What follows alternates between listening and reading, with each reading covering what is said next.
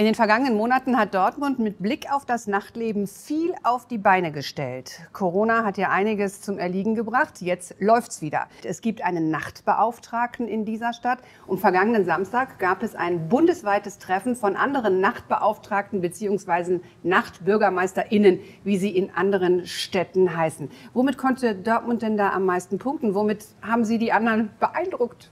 Also erstmal haben wir beeindruckt mit unserer Gastfreundschaft, aber äh, daneben natürlich auch mit äh, Projekten, die auch einmalig sind und vor allen Dingen mit äh, unserem Teamwork, das wir hier haben in der Stadt. Welche Projekte sind das denn? Die Dortmund Guides, dieses Deeskalationsteam für öffentliche Flächen, ähm, ist sehr gut angenommen worden und äh, teilweise sind Städte nur wegen dieses äh, Panels zu diesem Thema angereist. Es gab eine große Konferenz Stadt nach acht, die normalerweise in Berlin stattfindet, diesmal aber in Dortmund war. Und im Anschluss gab es eben dieses große Treffen der Nachtbeauftragten. Bei diesem Panel gab es da auch immer mal wieder Nachfragen und ein, ja, ein neidisches Draufgucken, wie Dortmund das schafft?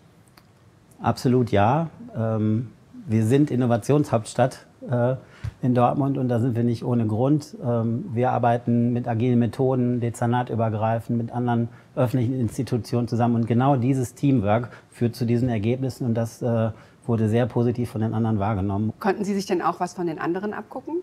Absolut. Wir sind ja im, im, Wissensaustausch mit den anderen Städten. Das ist ja auch der Grund so eines Treffens. In Berlin gibt es Freiluftgesetze für Kids. Da gucken wir auch mal drauf äh, für nächstes Jahr, was wir da übernehmen können. Aber es ist auch immer wichtig zu sagen, jede Stadt braucht ähm, die eigenen Konzepte. Freiluftgesetze, was heißt das?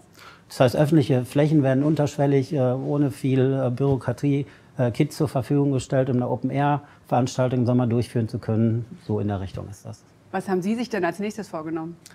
Die wichtigste Aufgabe ist für mich, ähm, so ein bisschen Klebstoff zu sein zwischen ähm, Nachtkulturbetreibenden, Clubbetreibern und der Verwaltung und da Berührungsängste, die es immer noch gibt, äh, abzubauen. Das ist äh, das, worum ich mich jetzt vermehrt kümmern werde. Ganz herzlichen Dank. Vielen Dank.